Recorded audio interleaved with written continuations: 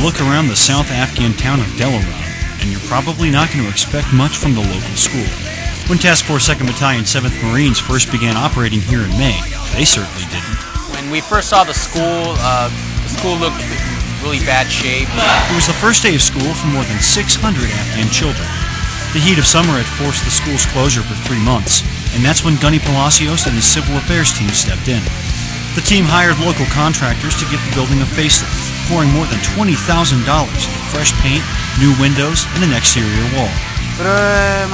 The school is important because it is for everyone. School is where kids learn right from left and right from wrong. Insurgency, they, they try to break the spirit of the people, and uh, it felt like we're actually winning.